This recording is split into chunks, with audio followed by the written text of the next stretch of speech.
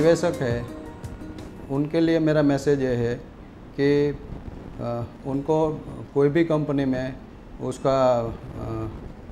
study करके उसको long term investment करना चाहिए और बी एस एम ई को